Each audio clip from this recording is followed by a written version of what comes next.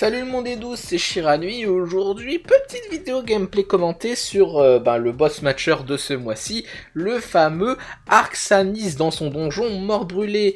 Alors un donjon niveau 50 euh, qui est un peu compliqué au niveau de ses mécaniques, je trouve, euh, par rapport aux autres donjons niveau 50 qui existent, même si, bon, évidemment, il y a la tour minérale qui est encore plus compliquée que ça, mais vous allez voir que, bah, en fait, si vous comprenez toutes les subtilités de comment fonctionnent les mobs et comment fonctionne le boss, et eh bien c'est un donjon. Si vous êtes un peu attentif et si vous faites un peu attention à votre placement, c'est un donjon qui passe tout seul.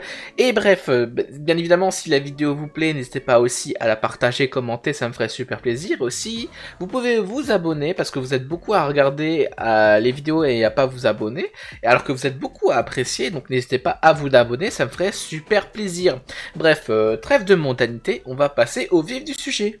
Dans cette présentation, j'y suis allé en modulé Stasis 4 et à vrai dire, la team que je vais utiliser dans cette présentation, elle est c'est pas la plus efficace du monde. Mais j'avais besoin de les prendre, ces persos-là, pour compléter des jetons de boss matcher que j'avais déjà pour me procurer les fameux familiers matchers qui boostent les armures données et qui est introuvable ailleurs. J'utilise donc en termes de DPT un Osamodas Invocation, vu qu'à ce niveau je peux pas jouer mon Osamodas Dragon d'amour, un Zobal mêlé et un Xelor pour du burst à distance sous tactique accompagné d'un Sadida support et soin, d'un Panda qui place et qui tank, et un Inutro pour retirer des résistances de loin assez efficacement et parce que bon, je savais pas quoi mettre pour compléter en perso sur le second compte. Dans ce donjon, il va être important selon moi si vous désirez être efficace de s'occuper des mobs avant de s'occuper du boss, dû à sa mécanique de phase qui créera des invocations au bout de 50% de ses points de vie afin de ne pas être submergé par les mobs. Cependant, pendant que vous vous occupez des autres mobs, Arxanis peut être une grosse menace si vous ne faites pas attention à votre placement durant le combat, malgré qu'il ne se déplace pas. Premièrement, il possède une attaque feu à distance de zone croix de une case qui ne peut lancer que sur une entité.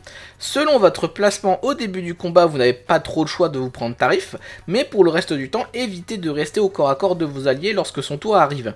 Deuxièmement, il lancera dans les tours impair une lourde attaque en zone de 6 cases par rapport à sa case centrale en plus d'imposer sur le terrain des glyphes. Ces glyphes, les autres mobs aussi peuvent les imposer d'une manière différente, mais comprenez simplement que si vous marchez dessus, vous perdez des résistances. Mais ce qu'il faut surtout retenir, c'est que durant les tours pairs, il vaut mieux pour les, vos persos mêlés de ne pas finir trop proche du boss ou risque de se prendre une giga baffe. Troisièmement, il a une baisse de résistance de 300 sur les dégâts de dos, ça peut être super tentant de le foudroyer de dos, surtout dans la seconde phase du boss, mais le problème c'est que ce n'est pas une bonne idée d'être à son dos lorsqu'il commencera son tour.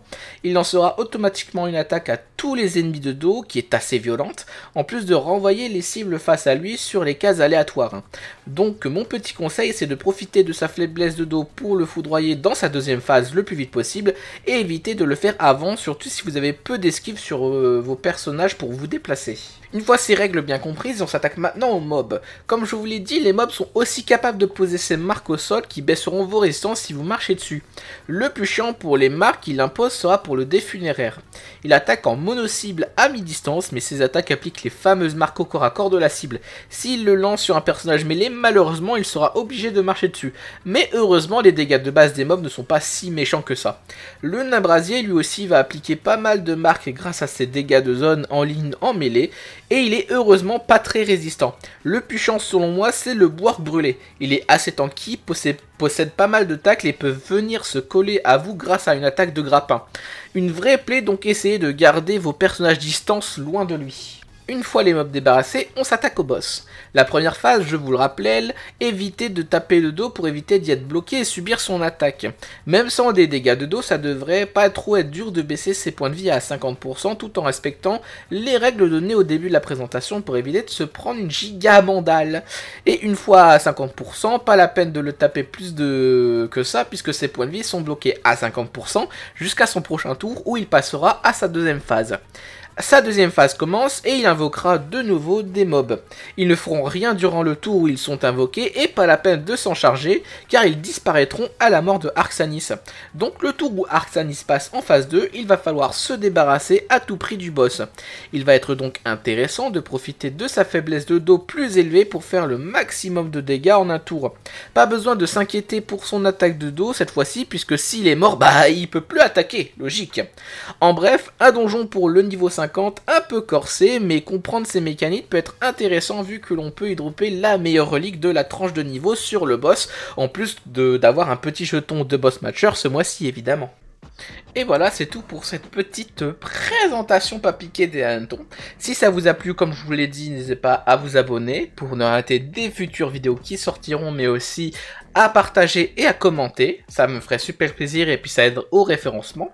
Vous pouvez aussi rejoindre tous les réseaux en description tels que le TikTok, le tweet, euh, pas le Twitch, le TikTok, le Twitter et le Discord pour discuter de Wakfu et de Waven. Et nous, on se retrouve la semaine prochaine pour une nouvelle vidéo. Allez, bisous bisous